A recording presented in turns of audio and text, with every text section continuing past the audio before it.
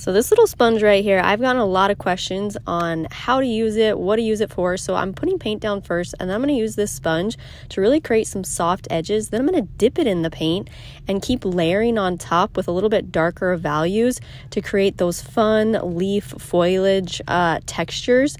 And that's one way.